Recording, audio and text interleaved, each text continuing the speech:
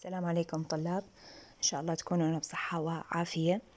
آه، طلاب بناء على طلب بعض الطلبة آه، قالوا نريد إعادة شرح صوتي آه، لبعض المحاضرات اللي أخذناها بخصوص ال protozoa. ولهذا أنا قررت أنه أرجع أشرح لكم الطفيليات اللي أخذناها بال classroom وحتى أتمنى أنه توصل لكم الفكرة بشكل آه، أوضح مما أنه أنتم تقروها وحدكم. آه، راح أرجع ويا آه، أول طفيلي نزلته بال classroom اللي هو الطفيلي للتوكسوبلازما آه، gondii. إذا أنتم تتابعون وياي بال ال PowerPoint راح تشوفون أنه أنا على ال slide رقم واحد مكتوب مصطلح ال toxoplasmosis وال toxoplasmosis هو اسم المرض اللي يعني بالعربي هو آه، داء المقوسات الجوندية أو بما يسمى بداء القطط. واسم المرض ال toxoplasmosis هو مأخوذ من اسم الطفيلي اللي تشوفوه بالشريحة الثانية اللي اسمه Toxoplasma gondii Toxoplasma gondii يعني المقوسة الجوندية طبعا هذا المرض مهم على المستوى العالمي لأنه هو من ال worldwide disease وتحديدا في العراق منتشر على طول أيام السنة. هذا الطفيلي مهم آه، وينتشر أكثر. ليش؟ لكونه zoonotic.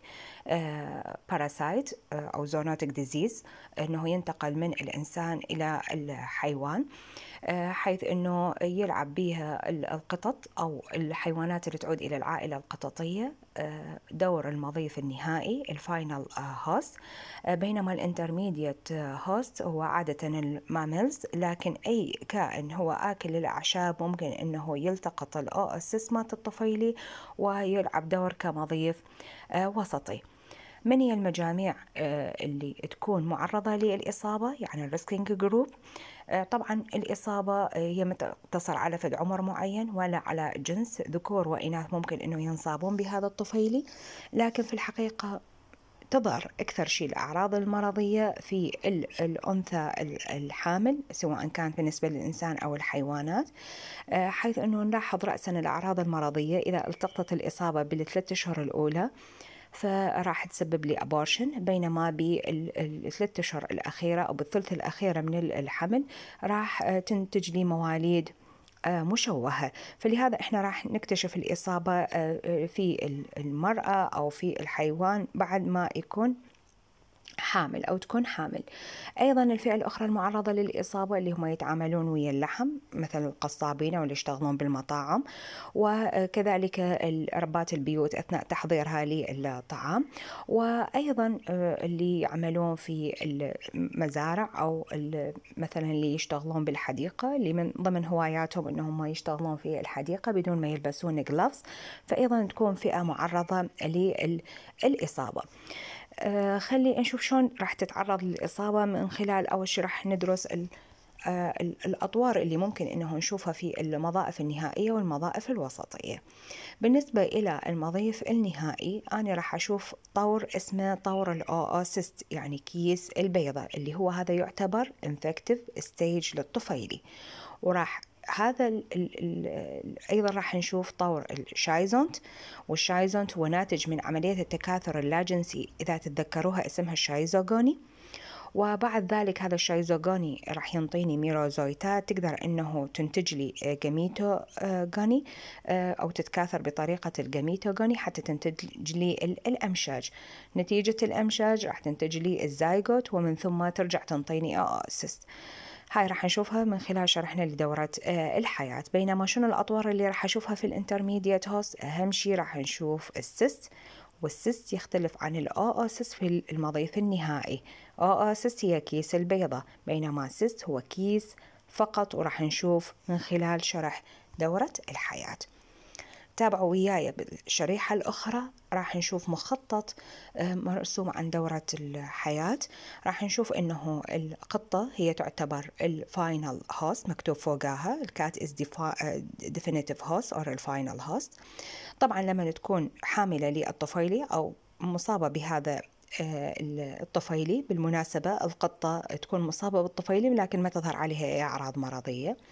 ولهذا راح يصير عندنا shedding ال oocyst in feces آه لكن هذا ال oocyst يكون immature immature أنه يكون غير ناضج يحتاج إلى فترة أنه يبقى بالبيئة من رطوبة من تربة رطبة من أنه درجات حرارة ملائمة حتى يبدي هذا الكيس أنه يتطور إلى الماتشور شنو يعني الماتشور؟ إذا تشوفون بالصورة أمامكم اللي هو على أقصى اليمين راح يشوفون هذا الكيس البيضي اللي يحتوي على داخله على two sporocysts يعني كيسين بوغيين وكل كيس بوغي يحتوي على أربعة أبواغ sporozoite. طبعا هاي طريقة التكاثر اسمها sporogony sporogony اللي هي تكوين البويغات.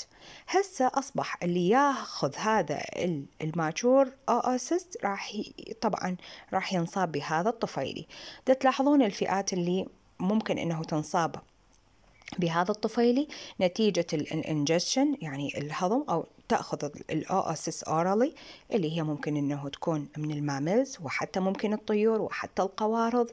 والإنسان يعني ال herbivorous hosts المضائف اللي هي تأكل الأعشاب كلها معرضة للإصابة.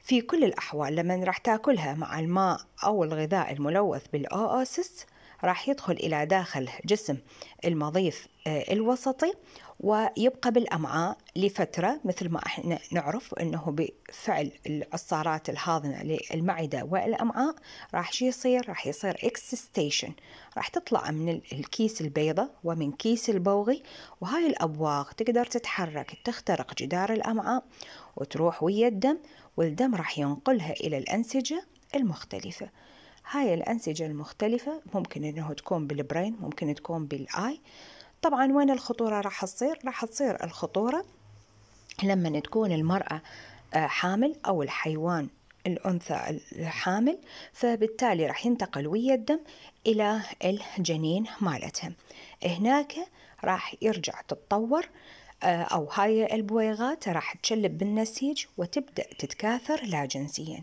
شنو اسم الطريقة؟ اسمها اندو دايو جيني.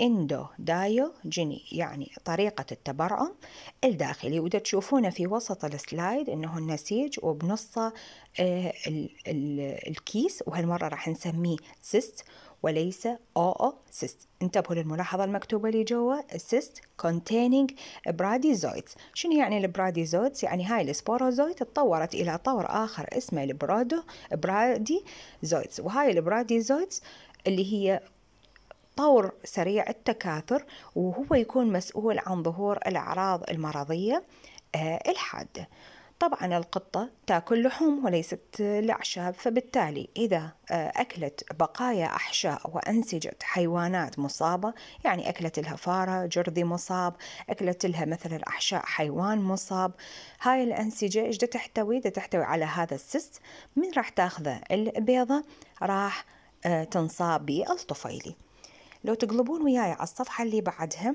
حاولت أسوي لكم مخطط مثل ما أنا معودتكم أنه أرسمها على السبورة حتى نشوف شنو التطورات اللي راحت تصير.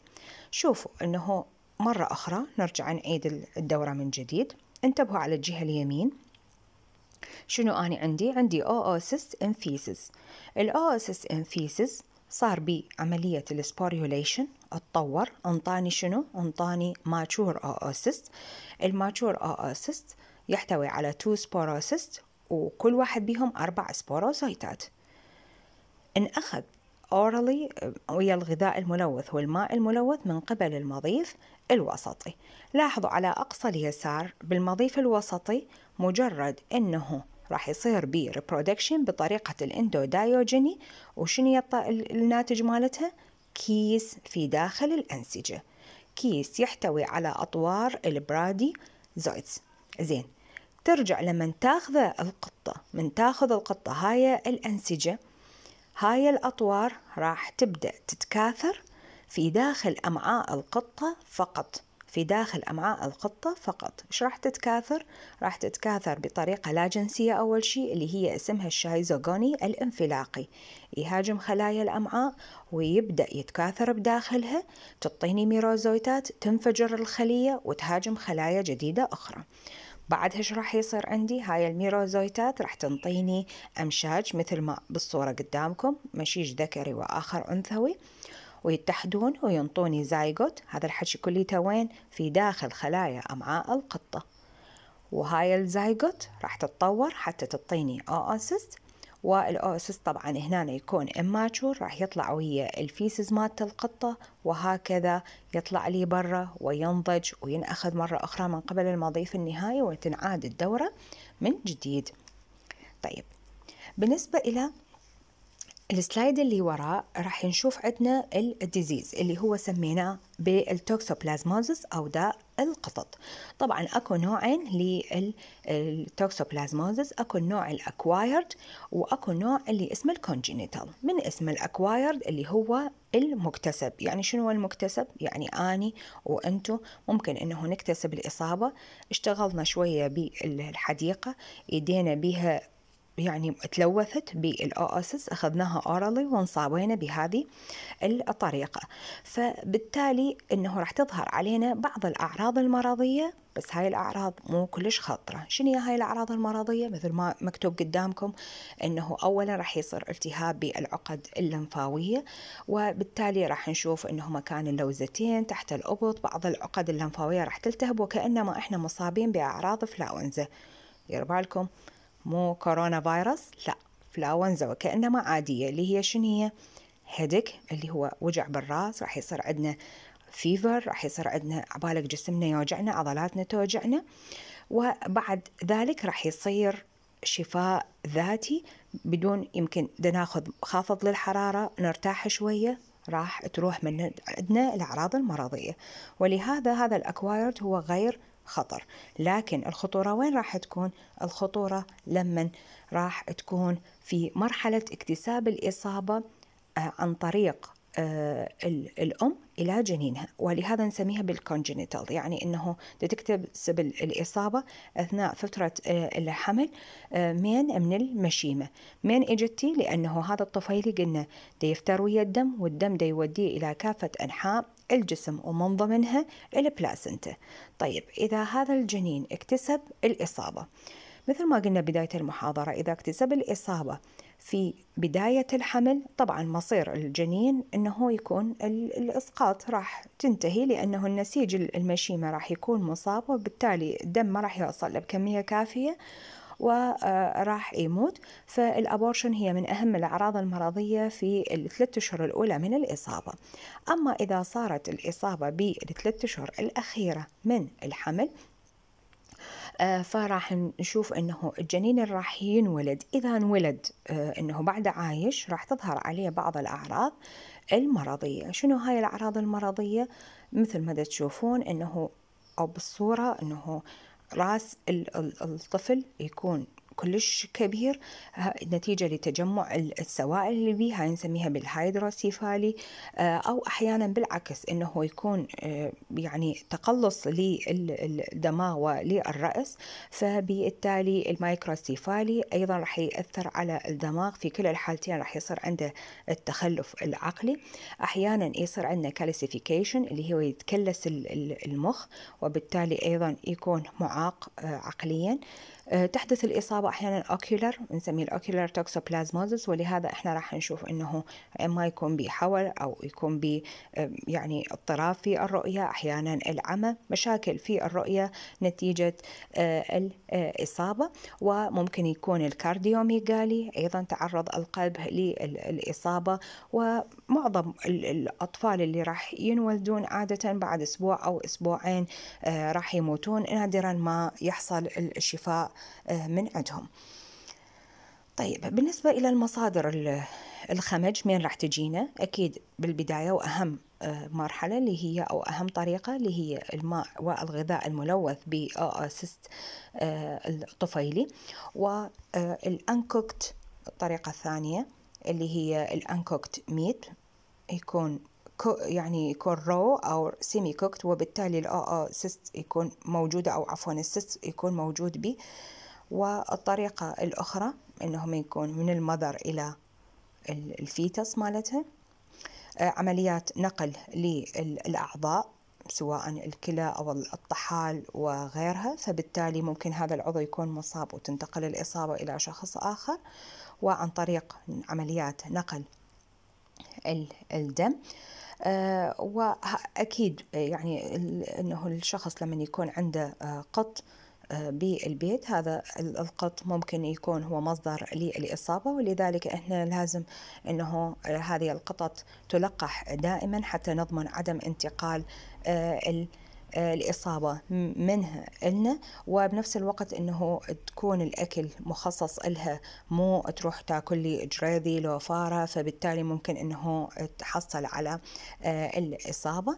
أيضا بالنسبة إلى اللي يحبون يشتغلون بالحدائق أو الفلاحين اللي يمارسون يعني الزراعة فبالتالي لازم يلبسون جفوف حتى لا يكونوا معرضين مع براز آه، القطة. وأكيد اللي يشتغلون في قطاع المختبرات أيضا يكونون حذرين بالنسبة لاكتساب الإصابة.